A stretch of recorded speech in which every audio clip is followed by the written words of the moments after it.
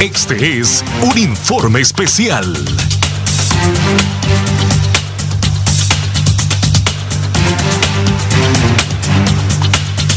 Este es un informe especial.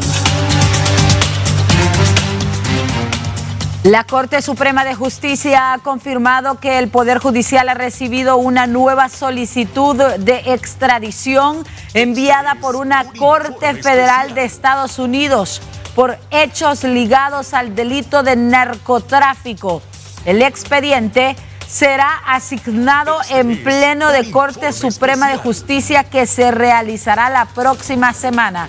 Llega hasta la sede del Poder Judicial una nueva orden de extradición desde la Corte Federal de Estados Unidos de América contra alguien que estaría ligado al delito de narcotráfico y la próxima semana se conocerá quién será el juez designado en un nuevo caso de extradición, solicitud realizada por el país norteamericano. Y mucha atención a este informe especial de quién se trata la extradición, quién es el hondureño que se está solicitando para su extradición hacia los Estados Unidos.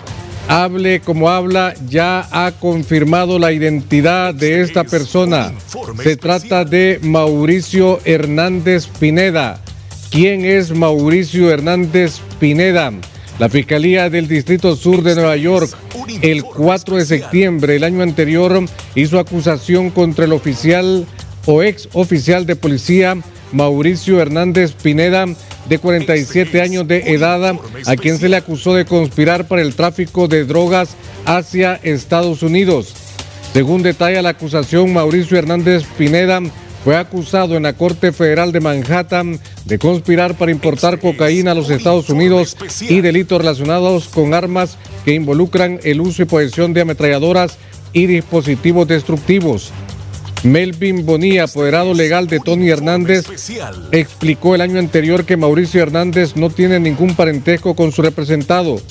También recordamos que Mauricio Hernández Pineda fue separado de su cargo en el año 2018 como policía por reestructuración. Esto lo confirmó la Junta Depuradora de la Policía. Pero mucha atención a este informe